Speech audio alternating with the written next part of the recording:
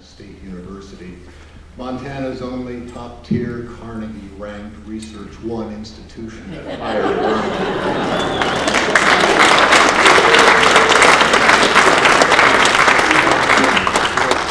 Sometimes we take our cultural institutions like museums and universities and public libraries for granted.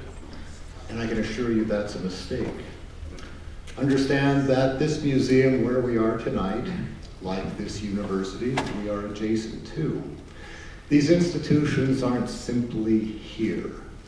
They were built, they took a lot of hands, a lot of time, and dedication, and no small amount of money. The same can be said of this, the Wallace Stegner Lecture and the Stegner Chair. And it's thanks to the efforts of many people, Susan Heinemann, who's here with her son John, Cliff and Joan Montagna, the Britons, Corky and Vanessa, who can't be here, and so many others. I want to thank all of you for your contributions to making this evening possible.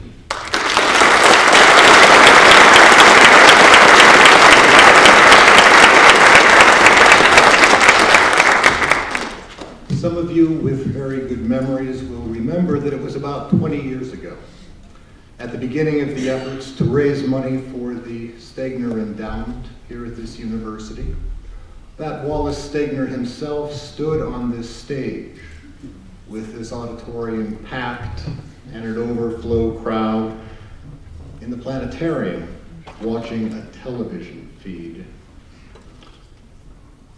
The Stegner Lecture is one of the jewels of the crown in this university. It honors one of America's great writers, whose books I think many of you are familiar with. But there's one you probably have heard of, but it's an edition you may not be familiar with.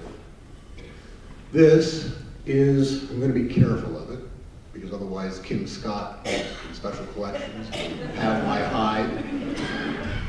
This is an edition pretty rare edition of a book called The Big Rock Candy Mountain. It's an edition you don't see very often because it's condensed for wartime reading. And the label on the book reads Armed Services Edition.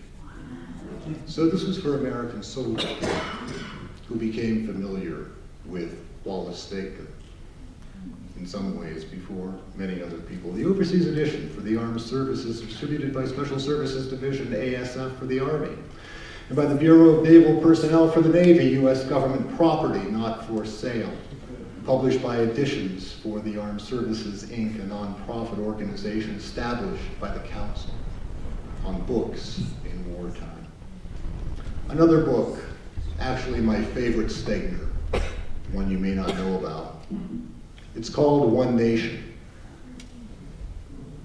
put together by Wallace Stegner and the editors of Look magazine. It's a book written at the end of the Second World War. It is on the cutting edge of this nation's fight to end discrimination and racial apartheid in this country. Many of you may not know that Wallace Stegner was on that edge, absolutely on that edge. And I was reminded today of something I didn't know about this community. This will test your historical knowledge, your historical memory, but some of you will know the name Marian Anderson. Marian Anderson, great singer, African-American singer. She came to Bozeman, Montana in the mid-1950s. I didn't know that, I'm embarrassed I didn't know that. She was invited here to be part of the community concert series. She sang in town.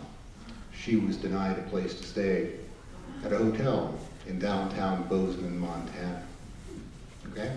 Wallace Stegner's book, One Nation, at the cutting edge of the fight for social justice in this country.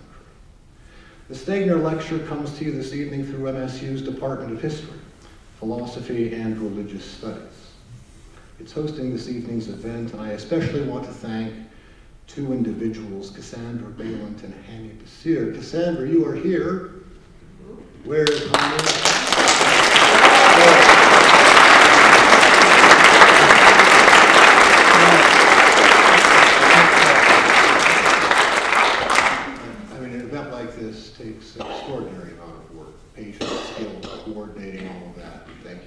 so much.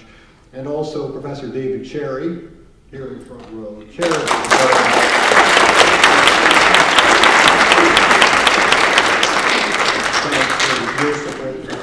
And just on a personal note, I want all of you to know that every day I have the pleasure of working with some of the most wonderful students and talented teachers and scholars that can be found anywhere in this country. And no, this is not just Rydell puffing up the history department.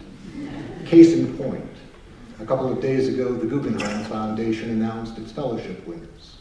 And one of those Guggenheim Fellowship recipients is our very own Professor Brett Walker. Brett, you need to stand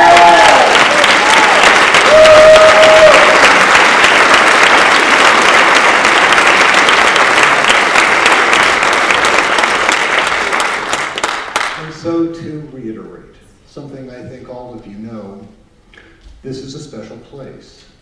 And it's made even more special this evening with this year's Stegner lecturer, Rick Bass, a writer who enlivens our imaginations with every turn of the page. Rick is the author of many prize-winning short stories and books, including the Book of Yaak, Wild to the Heart, The Deer Pasture, and Why I Came West. The last was a finalist for a National Book Critics Award for autobiography.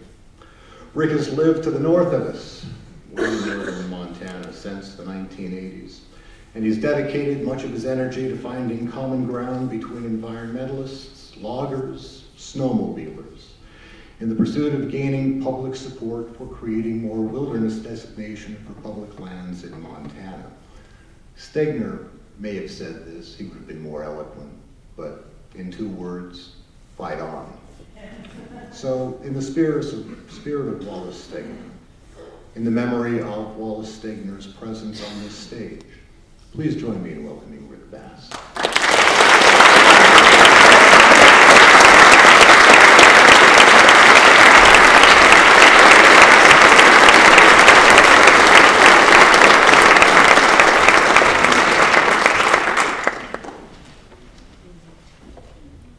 Thank you for that lovely introduction. Can you hear me in the back? Yeah. Great. Thank you for the, the lovely introduction and, and the uh, I just have to say, this is how I feel, the free history lesson. I, I, I so totally I'm going to look at the auditing whatever you're teaching. Commute. Oh, wow. That was, uh, I was taking notes. Thank you. Very, very, very cool. Thank you guys for coming in um, to hear this evening. It's, uh, you know, sometimes you get you get to you get old enough and nothing makes you nervous, and so then when you get nervous again, it's a good feeling. It's rare. I'm just savoring it, but if I black out, that's what's going on. I kept saying the S word so many times. Stegner, Stegner, Stegner. I thought this was just Bozeman. No, this, that's Stegner. I thought it was just Montana. No, it, it's, uh, you know, we're talking about heroes. Um, yeah, I just must, I'd do better to not think about it. Let's change the subject. oh, Cassandra and, and, uh, and Chair Perry and, uh, and Rob, thank, thank you all for, uh, for having me here. They've been working on it a long time, lots of little tiny moving parts that uh, I just had a bunch of emails and stuff, and a lot of work. Thanks for all of that. It's, it's not easy and it's appreciated and it's a gift to community. Uh, I've shot so many shotguns. If I was a good shot, I would have shot half as many times as I have, but I'm a really bad shot. So I've shot a lot of times at departing birds that do not fall from the blue sky. And I'm deaf as a result, and, and run a lot of chainsaws. Uh, I don't know if it's Connie or did, it, Ani? What? Connie. Connie. That's what it sounded like she said, but I never heard that name before, and so I, I apologize for, for uh, mishearing. And thank you also for, for, for everything. Um, you know that thing dogs do in the summer when the grass is tall and, and they lie on their back and they just kind of do that butt scooch wriggle. that, that's how it feels to be here with, with so many of my, my friends here. In a time of war, it's nice to be loved. And, and uh, it's, it's so great. Uh, Dave and Darla, thank you guys for making it in. And, and, and Maria and Noah, thank you all for coming in. And uh, uh, especially Doug, Doug and Andrea, thank you guys for, for getting in the truck and, and hauling over here and uh, you know, Doug has had, you know, all his knees put, different knees put in and, and, and uh, all kinds of shrapnel cut out and different vertebrae cut out and different vertebrae put in and different hips taken out and different hips put in. And, and one man takes when he's got a new hip going. I don't want to get graphic. I like getting graphic. I, that's, that's not honest to say I want to get graphic. I'm happy to be graphic. Um, he's got a hole in his leg at this very moment that is bleeding. And, he's got duct tape wrapped around it. So, it's, uh, it's uh, really honored to have, have your blood in the, in the theater. Betsy, Betsy and Amy, yeah, likewise. It's so great to be in, in, your, uh, in, in your home. Um, I'd rather think about y'all than, than um, Mr. Stegner, whom so many people call Wally, and I just can't, I just can't say the word. Teresa, thank, thank you all for, for coming in too. It's a, a long haul from the Yaak. Uh, I'll talk about the Yaak in questions and answers, but I, I want to read a couple of essays, one about the Yaak and the West, and then one about uh, Montana and, and the here and now. Um, oh, th thanks to the, uh, the bookstore also for, for having so many books and an embarrassing number of books and, and uh, manning, manning the tables. And uh, thanks to our friend Terry, who's not, not here, but all my other friends in the world are here. And if, if she were here, I would be wriggling even more in the tall grass. But that's it's not the only person who's not here. Really, really happy about all of it. I live in a place that amazes me. This is the condition of love. The eye and the soul loves that which it beholds that is familiar, and is amazed by that which is not and may never be familiar. This is the condition conducive to what Wallace Stegner, in describing the emotion stirred in us by the Western landscapes, called the birth of awe. I live in such a place, a place that has really never been lived in fully before, or if so, maybe only once or twice. For the small handful of us living here in the Yaak Valley of extreme northwestern Montana, right up on the Idaho and Canadian borders, there is a responsibility in this newness. Not quite that of a creator, but in some ways, almost. For what is being created with each day and each year is a story. And as Bill Kittredge tells us, stories matter. And first stories, I would suggest, matter most of all, in the way that the first scouring of ice, the ragged claws digging furrows in the exposed Cambrian bedrock, determine so strongly the course of so many of the other natural processes that are to come. Beginning writing students will recall that there are really only two stories in the world. A man or woman goes on a journey or a stranger rides into town. Mine was doubly rich. I went on a journey and I rode into town. I moved from the lush and verdant east, Mississippi, to the west to become a writer, to live in the mountains. Or rather, I was already becoming a writer, had just started, but was beginning to repeat the same colors in my stories, greens and yellows. I had been west before. I'd gone to college in Utah had skied and snowshoed in the steep blue mountains, had backpacked in the red deserts. The greens and yellows of the east had stimulated me, but they did so, I realized instinctively. And if there is one thing I believe in, it is instinct and our 180,000 year capital investment in those tactics. They did so with a quick, sugary flash of fine fuels, dry yellow grasses in August, rather than the deeper, slower, more powerful burning of the blues and whites. Those colors burned too, but did so in the manner in which frostbite is a kind of burning, something deeper and something that does not go away easily. I was hungry for the cold implacability, the sleep of glaciers. I was young and needed more dream time. I was not quite ready to awaken. I didn't know why, but I knew it. I knew it deeply enough to be drawn back north and west, abandoning my life in the south and east, with the same unconsidered relentlessness, perhaps, with which a salmon turns inland and pushes steadily up into the mountains, carrying with it the nutrients from the sea. We are all part of something larger. We know this, yet we spend our days forgetting it. We are all part of something larger. There is no in between. It is either this way or there is only nothing. The place I found, moving toward it without knowing it was out there, was the newest place on earth, the Yaak Valley, just about as far north as you can go in this country. The bitter edge, the sweet edge. All artists, I believe, belong in one way or another at the perimeter. They would become lost if too long in the center. They would vanish, would be absorbed, would no longer be able to exert their polarizing influence. It occurs to me that wilderness, that tiny but so powerfully charged 3% of America's landmass that is designated as wilderness, helps hold together the spirit and fabric and, in many ways, deep core depth of this country's soul. In the West, there is wilderness in our soul, whether we realize it or not. There are those who assert the presence of another who loves us, whether we accept that love or not. That that is what is at the center, the center of something, and that we ourselves scramble around its edges. The best evidence we might have then of such a presence is its absence, the paths of our orbits circling around it, staying just in contact at its outer edges. How can I prove to you that we need wilderness in the West? That as we develop and grow, we need more of it than ever? I can't. I am neither mathematician nor chemist.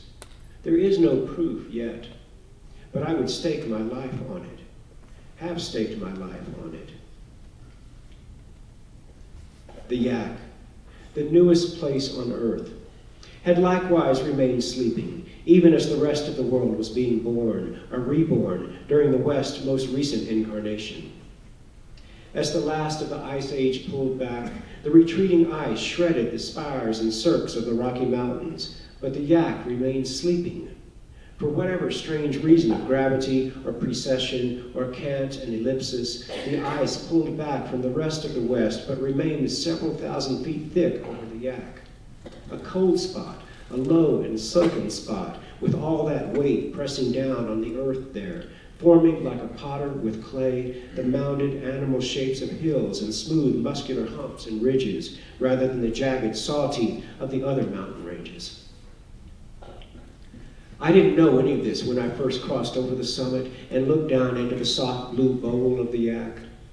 I knew only that I felt a clarity, an awakening, a youthfulness and a vigor, a rawness of energy and beauty, a deep peace and resonance far within, even as I felt my outer bands and shells and the outer laminae of possibility become stimulated and a buzz.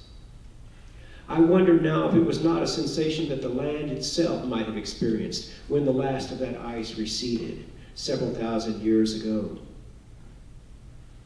No one has ever lived here the Kootenai were the first people, a fish culture that followed the Columbia inland, and who sometimes came up into the Yaak in the summer to hunt woodland caribou and mountain goats, but who, or so I am told, never lived year round in the snowy Yaak. And why would they, when they could drop 4,000 feet down into the more tropical climate of the Kootenai River, the lowest point in the state?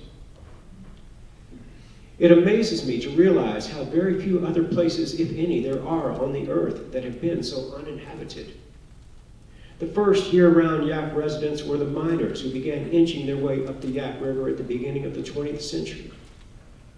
Scarcely three generations have resided here year-round. Other than the Arctic and Antarctic, you would have to go to the sand dunes of the Namib to find a place with a hollower human history. But what I've seen in the Yaak, what I think the Yaak has that is so valuable for the rest of the West, is the incredible example of how these first stories matter, and how, to some degree, in the West, we are all still living first stories. In the Yaak, no one knew anything. We were all entering the newness together. It was and is all so newly formed that even words still mattered, mattered hugely as did certainly ideas and memes and stories. Actions mattered too, but people had to hear about them. Some seeds had already drifted in and tried to attach, but I think that ultimately the soil was too thin to sustain them. Brief and errant ideas like the belief that you could start clear cutting at one end of the Yaak, and by the time you reach the end, the trees, the wild forest, would have grown back in. Such was the logger's belief in the low elevation rainforest productivity. But that story hasn't lasted. It lasted less than 100 years. It took some energy to deconstruct that old story, to fill in those shallow grooves, but I think we are finally filling it in. Some things, special things, once gone, are not so easily gotten back. Now we are back to the baseline, back to the bare, smooth stone that awaits its true scratch, the furrow or furrows that will help shape and influence the direction of what comes next. Not for one and two or even three generations, but for a far greater length of time dozens of generations, thousands of years. It is good to dream big. Sometimes I believe it is in the condition of dreaming that we are most fully human. Then, and when we are embracing, celebrating, observing, or even creating beauty and art. I will admit, I will confess, it feels harder these days to dream big. I think this means that it is more important, more necessary. It is often in rarity that the condition of value resides. What story should we tell, then, in any new garden? What story should we nurture? Maybe it's too soon to have the answers, but I believe as an article of faith that the arts and wilderness are paramount, that they are the soul of the West beneath our thin new soil. For a little while, we did the cowboy and Indian thing and the commodity thing, the rugged, rough-hewn macho extraction of ore, cattle, timber, furs, coal, oil, blah, blah, blah, and then those things began to run out, just about the time our macho ran out, to which I say good riddance. Also withering on the short vine was the myth of rugged Western independence. My own county, Lincoln, in northwest Montana, which, let me assure you, contains some rugged individuals, is quite possibly the most heavily subsidized county in the nation. The average income is around $25,000 per citizen, and last I heard, the per capita government expenditure in Lincoln County, EPA, USFS, DOI, FHA, FHA, VA, BPA, etc., was about the same amount. I'm told there's only $6 trillion of currency in the world, that everything is leveraged, speculated, subsidized, propped up by smoke and mirrors and faith. Every nation, every community chooses its values, just as every corporation gifted now with the powers of free speech, even anonymous speech, despite not owning the lyrics. externalizes as many costs as possible to a willing and too passive society. The coal companies, the oil and gas companies, the humanities, the ranchers, we are all living in the speculative bubble of one subsidy or another. Contemporary humankind is in no way a sustainable venture. Instead, we are a newcomer an experiment in the garden. A beloved one, perhaps, but not, it would seem, yet sustainable. Let me just say this. It takes money to live in a hard place, and the harder the place, the more money. And likewise, sometimes beauty is not cheap. Wilderness, however, the most deficit neutral policy on the books, the gold standard for an unsubsidized existence, and provider of basic ecosystem services we can no longer even afford and yet cannot afford to not have, is the finest investment in sustainability a region can make. And it grieves me that the so-called conservatives do not marvel at and revere this simple truth, but instead seek with the force of dogma to eradicate, eliminate, liquidate any and all potential wilderness. It's been over 30 years since Montana has passed a wilderness bill, the Yaak itself is at year 48 without wilderness and still counting. The vine of that old story has completely withered. The pipe dream fairy tale children's bedtime story of the Westerner as a rugged individual needing nobody. We might have had nobody out here. The West can be a lonely, isolate place, exhilaratingly so for some. but to say we need or needed nobody is just false. Maybe this then is the spirit and identity of the West the tension, the at times vast space between the needing and the not getting, and the spaciousness that we allow to surround our loneliness. It is not necessarily that the ache or solitude of each human soul, the human condition, is so different in the West, but that here this human condition is not compressed. It has space in which to resonate, to echo off different walls, to roll across deserts, to slide over snowy slopes, unobstructed and undeflected by others of one's kind, who, paradoxically, are not always even the antidote. Here's a story, a little story from the dark, far woods of the Yaak, where we yet have barely any soil whatsoever. A young man, a man of art, Scott Daly, who has protected the Yaak, who has dreamed wild visions for it, assembled grand puppet spectacles, parades, and week long music festivals on behalf of Yaak Wilderness, and just across the state line in Idaho, a community radio station broadcasting culture and music over a land where few have ever resided, is exfoliating. He came here from the east, and now he is being carved and cut, reduced to whatever one last thing burns within him. He saw the Yaak, fell in love with it, and the Yaak, the wild Yaak, continues to glow and prosper because of his choices, his efforts. He is building the soil in a garden where the soil is so thin that it barely covers the crackling heart, the crackling essence of the bare stone.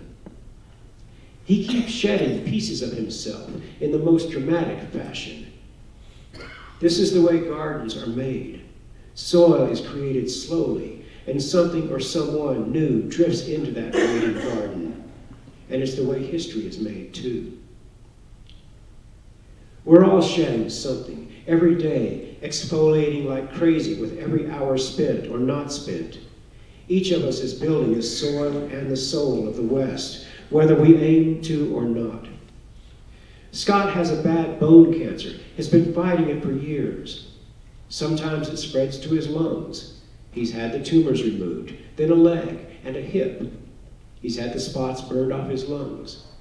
It stayed out of his brain. He's still Scott. He's still writing grants for the Yaak Valley Forest Council. He keeps limping along. His daughters are 10 and 7. His wife, a massage therapist, can't work anymore. The stress of their situation the one they inhabit now and the one to come, has given her chronic psoriasis. The skin is literally peeling in sheets and tatters from the hands she once used to make a living. Scott is one of the lucky ones in our culture because he works for a nonprofit, the Yaak Valley Forest Council, that provides insurance. It's not enough, of course, but it slows the rate of financial disintegration. The Yaak can be a rough place to advocate for wilderness. Not as rough as in the old days, and that's due largely to Scott, who, in the passion of his youth, used to go down to the bars and defend wilderness not with Abbey-esque philosophizing or Stegnerian eloquence, but the old-fashioned way, brawling and fighting, punching back when shoved. The bully culture of intimidators had never seen an environmentalist quite like him. It was a time back then of death threats, pipe bombs, and car burnings, and he battled them to a draw. There were just a handful of us back then, mm-hmm. trying to pass through the eye of a needle and into the future, into a time and territory where we could speak of one's heart's desire, our soul's need, without persecution. Someday we will have wilderness designated in the Yaak. Someday you will even be able to say the word wilderness in town without getting into a fight. And those fortunate residents of the future may not even be able to imagine how difficult it once all was. Stories like Scott's must not be forgotten. They are the true and good foundation from which we are all just now setting out again.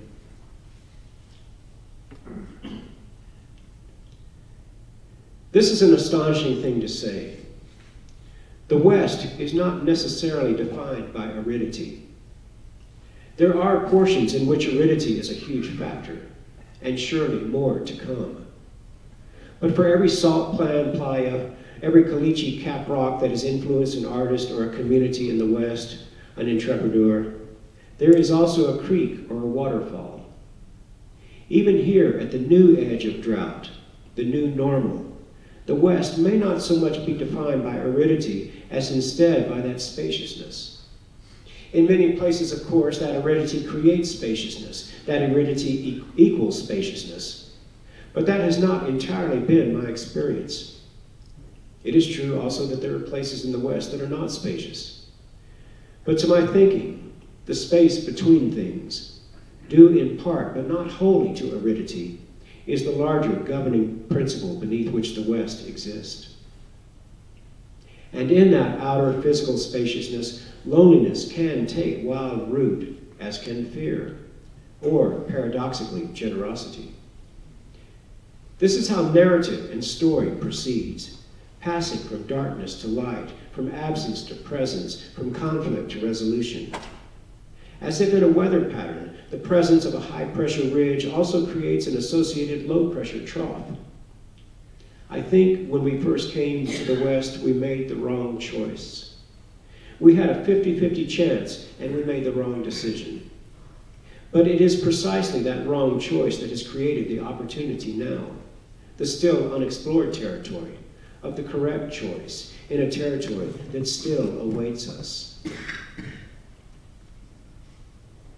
There is a lot of talk these days, specifically since October 2008 when we officially entered the Great Recession, about the new financial normal. There is a strong belief among many that the new business model of the nation will call for somewhere between 9 and 10% of permanent unemployment. That something big has changed, that the country has not so much tilted as finally fallen, and that we cannot quite find a way yet to get back up. It is said that things are better, and it is said that there is even an economic recovery underway.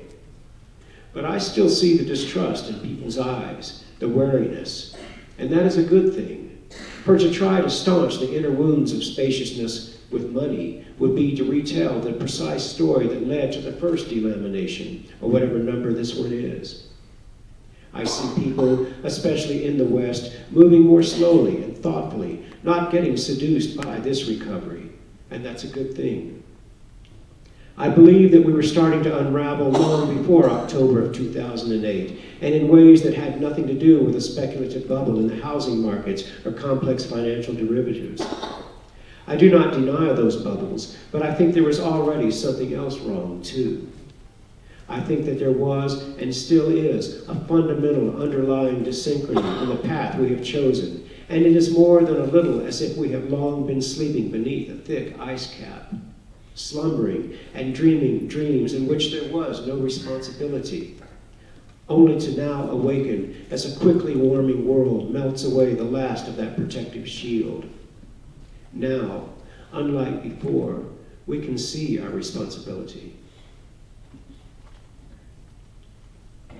What stories do we tell them to fill in the wounds? Not our stories of old genocide, surely. As the eastern half of the country was built on the false foundation, economically as well as morally, of slavery, so too does our own in the West, particularly, rest undeniably on genocide.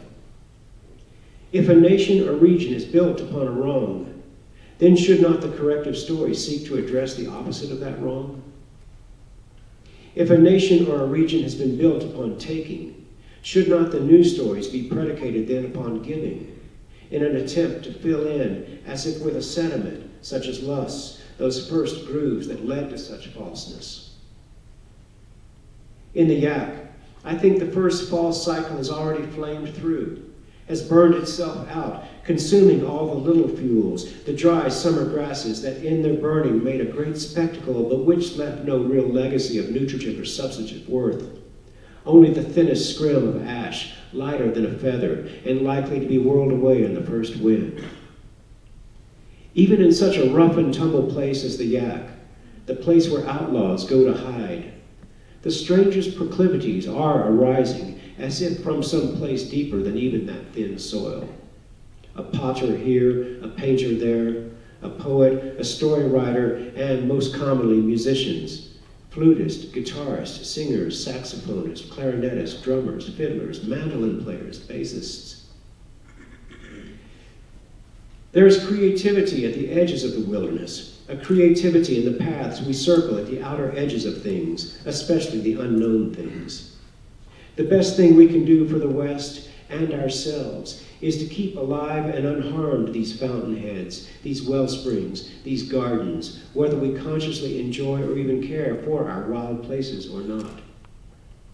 All Westerners, whether urban, rural, or suburban, somehow benefit from the wild gardens, the wild spaciousness that is still out here in places.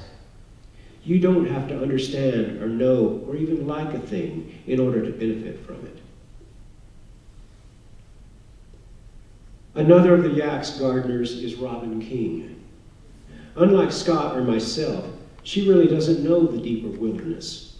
She's content just to live at its edge, is not drawn into its center, does not find alluring the long bushwhack, the mosquitoes or blizzards, the sweat and physical toll. Her passion is social justice and community development. Her passion is making a place for peace in a valley where always before there has been war. She co-founded the Yaak Valley Forest Council 14 years ago, not long after I published an angry book, The Book of Yaak, that criticized the U.S. Forest Service resistance to protecting wilderness in the Yaak. Robin called me up one day after talking to a friend, Dave Henderson, using a friend's phone. She and her husband Jimmy live, as do most of us, off the grid, no phone, and solar panels, batteries, and a backup generator for the laptop, and said, that's just not right, that there's no wilderness up here and that people are getting ostracized for supporting it. We should form a little group to give local voice to that cause. Great, I said. Who will be in it? Well, you and me and Dave, she said. Since that time, we've grown to about 100 supporters with roughly 1,000 national associates. It's still a pretty tiny organization with perennial budget challenges, though we stretch a dollar further than any nonprofit I know. Robin became our executive director, working in an office where rent is $150 a month, heat is from a wood stove, and with no running water, just an outhouse. She does have a computer, she does have a fax machine. Against all odds, we've succeeded with the valiant support of Senator Jon Tester in introducing a bill in the U.S. Congress that will finally designate wilderness in the Yaak. Robin administers a local Workers in the Woods program, too, using unemployed loggers and other local residents to restore damaged watersheds and wildlife habitat in the hard-logged Upper Yaak. We've also initiated a conservation education program in area schools and after-school hiking and camping clubs. We've come a long way in a relatively short time, even though in other ways, given the 24-7 nature of our work, working in the place we live and living in the place where we work, it feels like it's been much longer. Robin goes to a lot of meetings. There are only 19,000 people in all of Lincoln County, but it's the largest county in Montana, nearly 4,000 square miles. The Yaak itself, a million acres, is 97% national forest. Robin drives to meetings in Eureka, Troy, Libby, Stryker, Fortine, Street, Trego, Kalispell, Helena, Missoula, Rexford, Bonners Ferry, Sanborn, British Columbia, and the Yaak, in addition to lobbying in D.C. She meets with loggers, mill owners, snowmobilers, ATVers, hunters, anglers, teachers, Forest Service personnel, county commissioners, senators, and representatives. I go with her when I can, but I do not make every meeting. Often the meetings are stressful and acrimonious. Several years ago, during the most intense meetings, Yet another mill was closing. She would walk out of those gatherings and comment that she felt like the top of her head was going to explode. I thought she meant figuratively, but a couple of years later, the doctors found a meningioma growing in her brain, or rather, on the bony skull cap above her brain.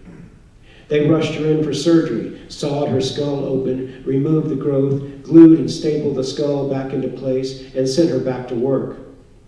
I think in all she missed maybe a couple of weeks. Like Scott, she's pretty irreplaceable to our organization. Her work is her life. It is not a job, it is a spiritual mission to protect wilderness in the Yaak. She will give until there is nothing left to give.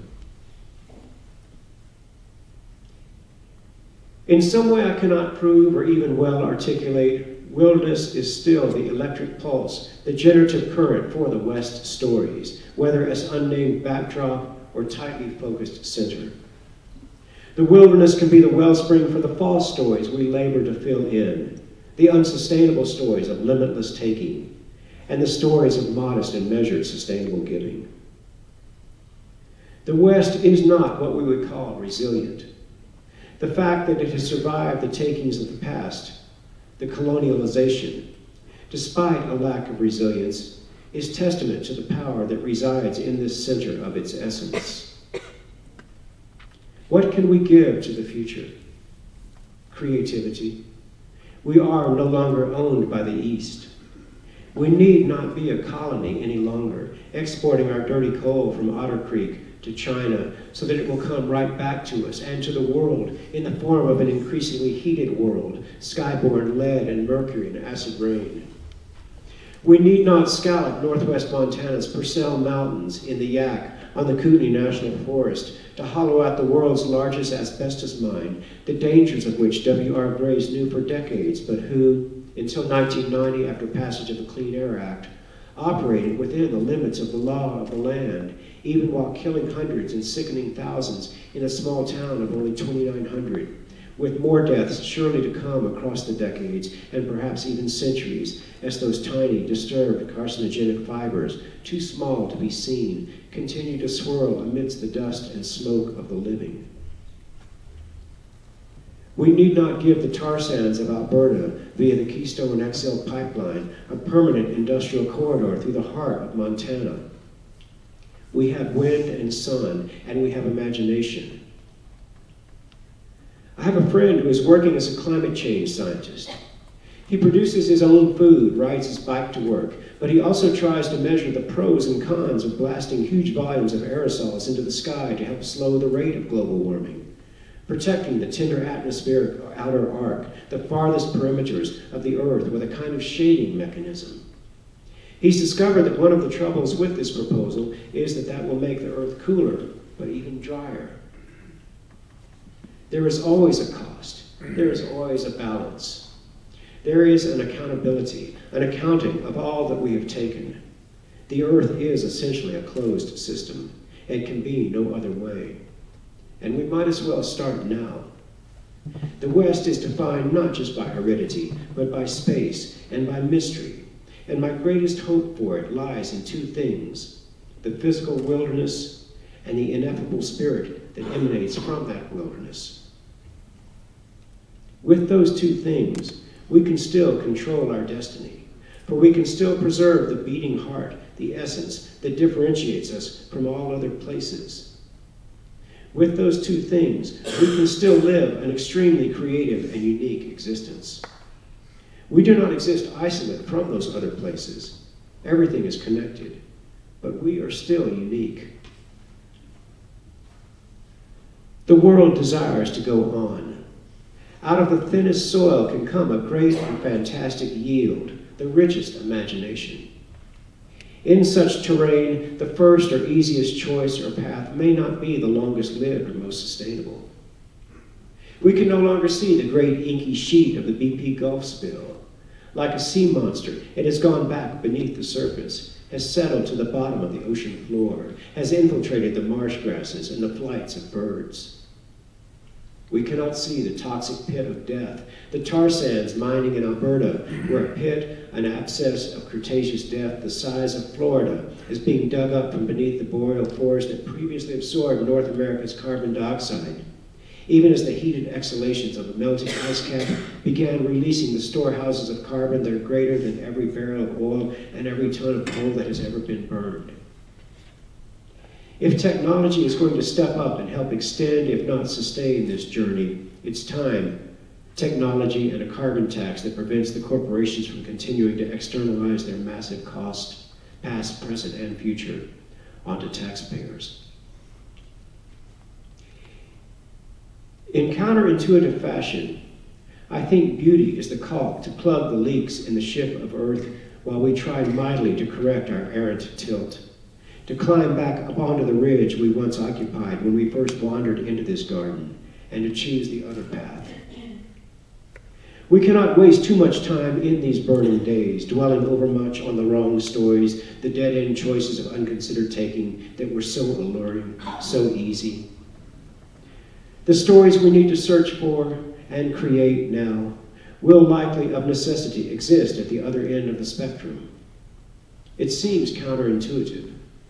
But is not the world's beauty the thing that has most sculpted us as a species, and the West beauty the thing that has so influenced us as Westerners?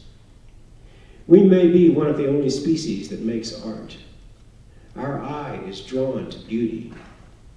As all the other experimental outer shells of our evolving cells fall away, that is surely what remains at one of our deepest cores, the thing we must most and last defend if we are not to disappear.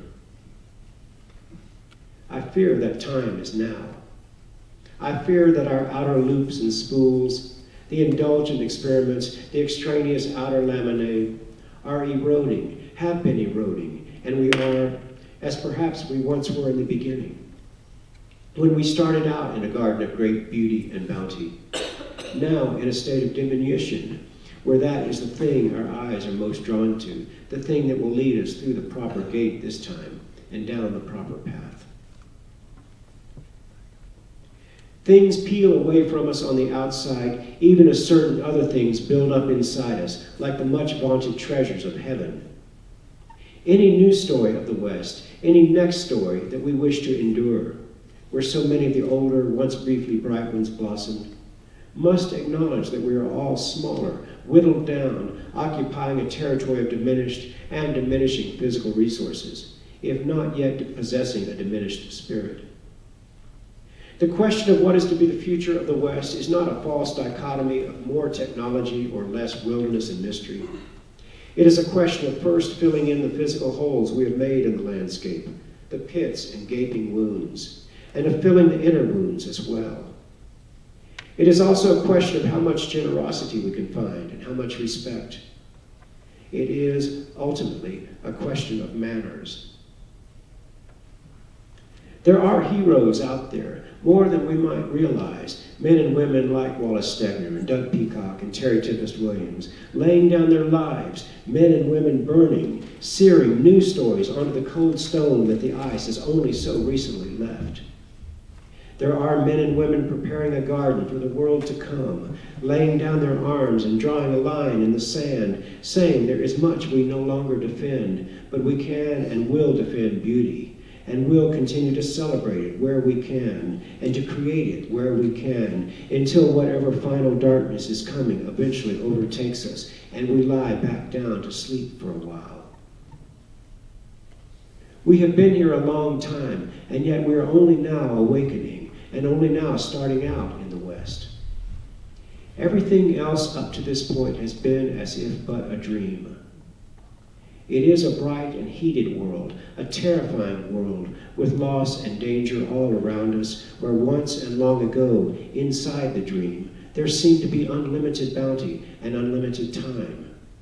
But it is still very much the West, and the one thing, the essence, the beauty, is still intact. There are still some hours left to each and all of us. We can still do with them what we choose. It is springtime yet again, and still it is almost as if the garden has not yet even really been planted, or is ready only now for its next planting. It is definitely time for different crops and different gardeners.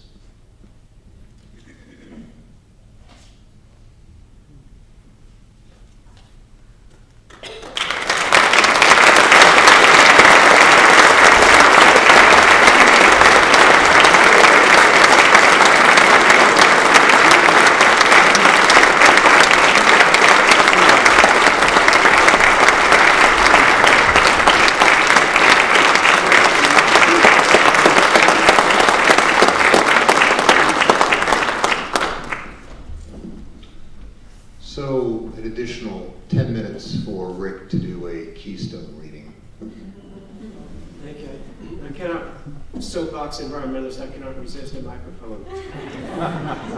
Thank you all for your kind listening. I know it's bad manners to go too long, but this is, this is serious shit.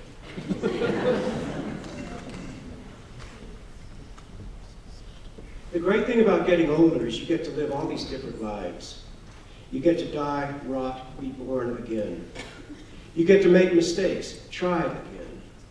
You get to try to live by reason, and if that doesn't work out, by instinct.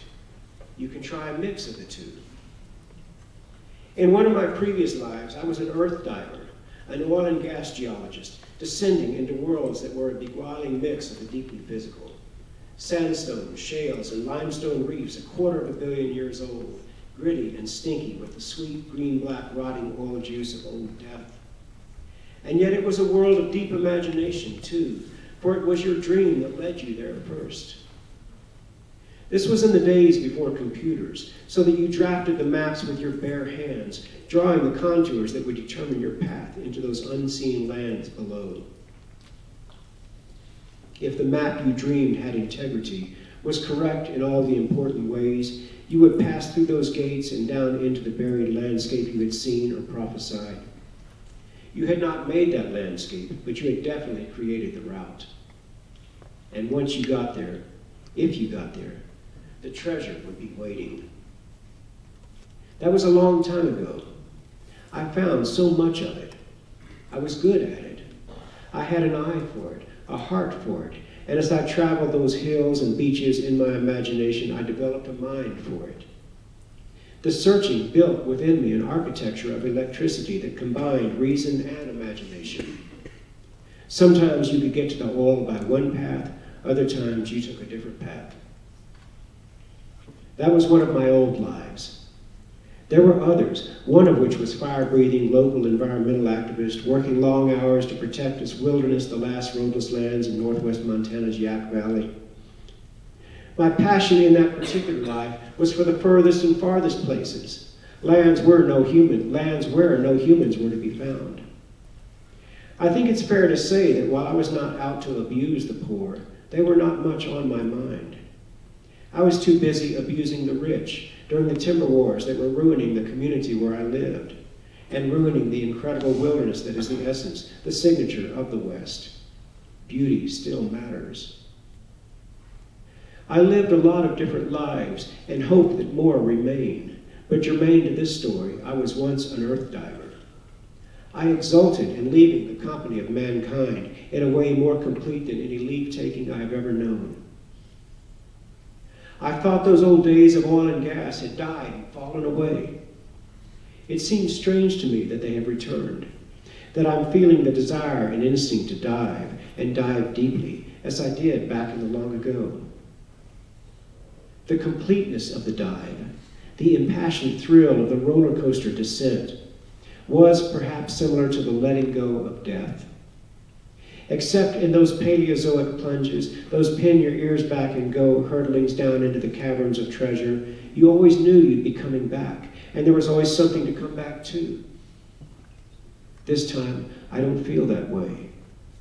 This time, I worry that everything that is beautiful will not be there when I come back up, when any of us come back up. This time, then, we must all go down together. When Bill McKibben and the folks at 350.org asked if I'd come out and get arrested with him at the White House to protest and draw attention to the proposed Keystone XL pipeline, I jumped at the chance. It seemed to me as natural a response as dropping a postcard in the mail, which for these first 55 years of my life has pretty much been the extent of my efforts on behalf of the beautiful green world.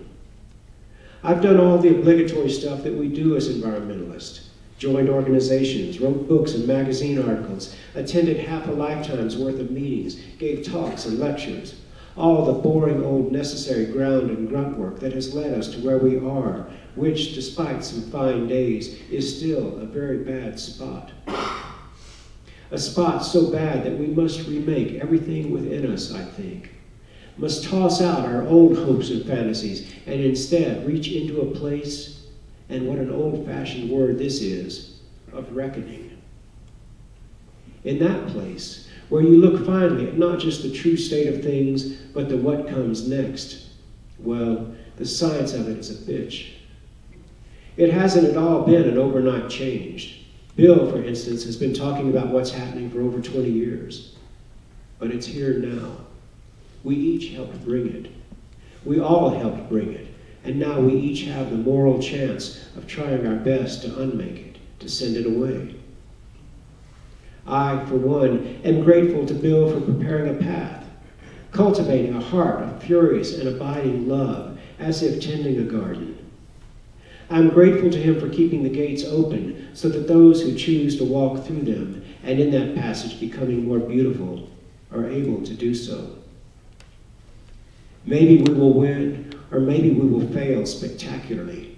But how wonderful, how liberating to discover that the more dire the situation becomes, the more powerful and creative our hearts can become. As if, for all those years of sleeping, of not being much used, those hearts have not been atrophying, but waiting, resting, getting ready. I've been arrested before. The previous summer, at the Montana State Capitol, protesting the state's willingness to sell at a thousand percent loss toxic coal to China. Coal too dirty to burn in our own country, surface mine from southeastern Montana's bucolic Otter Creek and Tongue River Valley. A business plan exists to get investors in China hooked on building coal plants, more coal plants, which will then raise the world's demand for coal, so that investors who own leases on the United States' vast coal reserves will have a market for their poison. The dirty coal from Montana is being subsidized, almost given away, to facilitate the development of this addiction. Sound familiar? A moral issue, then, though to be absolutely honest, what first caught my attention was the potential loss of a beautiful corner of my expanded backyard in Montana. I just can't seem to shake my old addiction to beauty. And in the Otter Creek protest, I was surprised by how easy it was and how good it felt.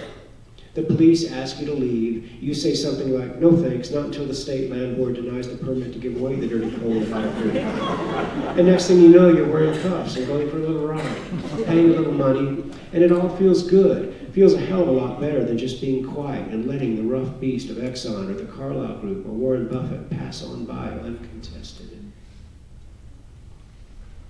Being arrested in D.C. was, as might be expected, a little more intense, and yet even more joyful. The support crews, people on your side who try to take care of you, make calls for you, etc., are always fantastic.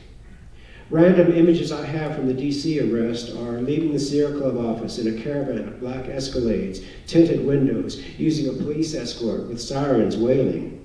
Why? How? And Bill looking down at his feet and shaking his head and saying, This just doesn't feel right. the junior senator from Rhode Island shouting at, exhorting 40,000 people to no longer stay asleep while the fossil fuels industry continues to dictate the world's economic and political policy. Don't be chumps. Don't be chumps. Daryl Hannah waving the peace sign as she giraffe walked to her arrest. What if I'd handcuffed myself to her instead of the White House gates? Focus. The mercurial Bobby Kennedy pounding the pulpit in that so famous, so familiar, beautiful voice, stem winding. And then riding out to the jail with him in the little paddy wagon. Five of us jammed in there like so many bird dogs in a too small wire mesh kennel. Listening to him regale the rest of us with the most wonderful, if often politically incorrect, jokes. Me trying to hang with him, offering up one of my own. What did one snowman say to the other? Bobby, I don't know what. Rick, do you smell carrots? Bobby smiling, Bobby smiling weakly, then continuing on with his great ones, none of which, as they say, can be printed in a family newspaper. His son Conor riding in the wagon with us in his first arrest. My own 17 year old daughter, Lowry, came out to join me for the big march on the White House that subsequent weekend. I've got great and lasting memories from the march as well. Bill coatless at the podium in the 15 below windshield, and whether having forgotten a coat or knowing that he'd be much photographed and then ridiculed by the fossil fuel industry apologists for wearing a heavy puffy coat, I don't know. Bill radiant and shivering both, saying how he'd waited 25 years to see this, saying with no irony, holy heck, as he looked out at the sea. I remember Lowry's exuberance at being swept up into a larger thing, the passion and hope of unity. The discovery, the witnessing of a family larger than our little one in the Yaak. We've handed her peers a shit sandwich, but maybe if we awaken, we can at least show them the deep passion of our reawakening. If she is any representative of her generation, it seems they are overjoyed to be given the encouragement to reach deep and dredge to the surface that which has been asleep in the rest of us for so long. That they will do so with or without our encouragement, but are glad to have us old folks along with them. I remember Reverend Lennox Yearwood saying, This is our Birmingham. This is our lunch counter moment. I remember the way we flowed, wove, braided, old and young and in between. I remember the exuberance and exhilaration, the wild and colorful costumes and the handmade posters. I recommended protesting and being arrested highly. I'd like to see several million, even a hundred million, experience the joy and pride of ownership that is to be gotten by attacking directly the most powerful man made force on earth, the earth eating force of the major oil and gas companies. When I was a young man and playing football and lifting weights, I used to kind of brim with a certain fizz. I was a little on the small side. Certainly, compared to my brethren in the trenches, I was tiny. But I had a philosophy of going straight at the biggest guy in the fight, figuring that that was where the scrap was probably going to end up anyway, and better to get in there while fresh than exhausted.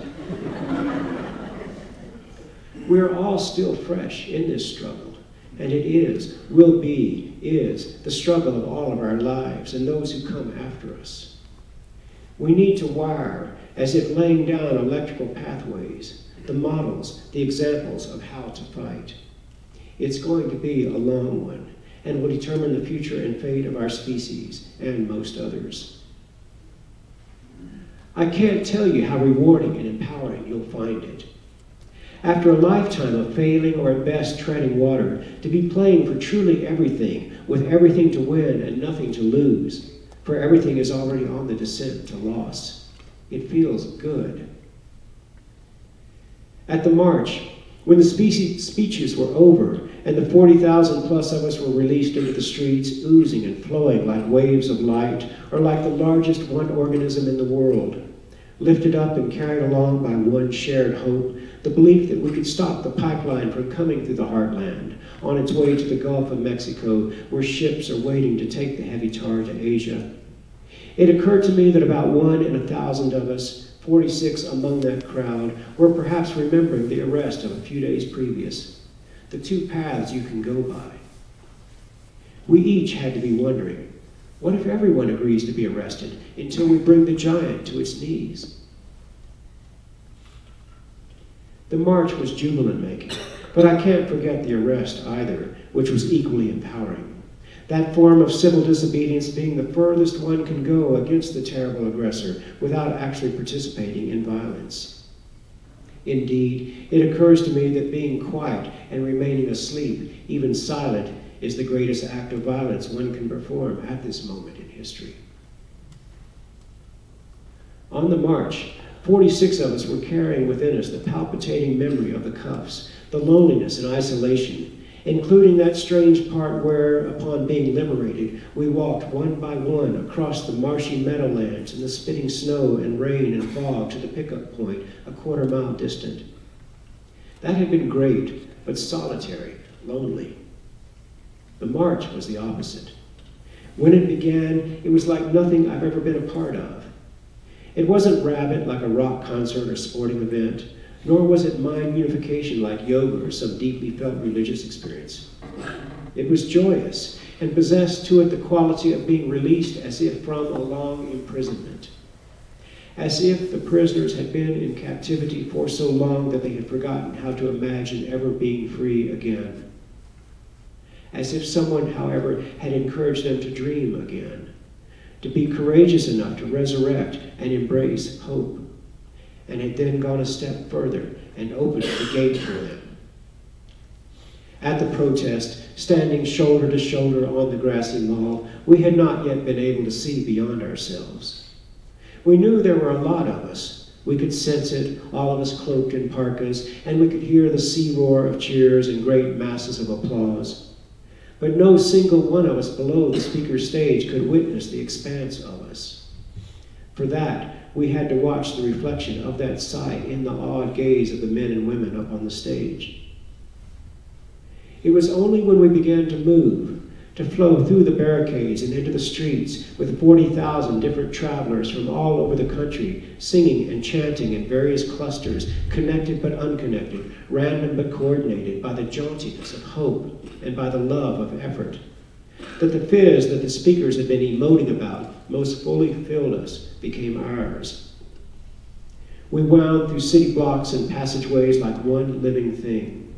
We traveled in mass through the city for hours. There was music and cheering. We wreathed and wrapped the city in our hope. It was a bummer that the president was playing golf that day in Florida with Tiger Woods. Regrettable that he missed such a great civil rights action. But hopefully his aides were able to explain it to him. And hopefully when the arrests start, later in larger numbers this year, arrests by the thousands, the last and only nonviolent thing remaining that we can do, and a time tested successful American tradition as proved in previous civil rights struggles. Hopefully, he will get it then. We have it in our power to get his attention. Right now, he appears distracted. He appears almost to be in denial. We need force and imagination to get his attention back. No one person can do it. But together, all of us and everyone in a family can get his attention. Let this coming year be the year of arrest. Let it become a wholesome family activity like bingo or bowling. The president understands family. Let us meet him where he is. We won't know the effectiveness of this march until many years into the future. But we will know immediately, in our first step of being arrested, the sweet joy of being on the right side of a thing, rather than in the damning and ultimately deeply regrettable unseeing middle, on a moral issue that is the largest of our time, the largest of our combined generations living today. It feels good to wake up.